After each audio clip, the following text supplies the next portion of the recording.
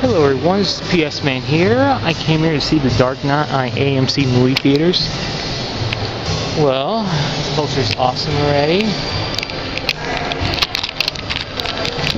Well, I'm just heading to the movies already.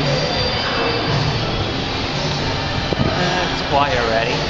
Uh, there's no, there's not been shootings around here. It's like ticket booth here. Buy some tickets here.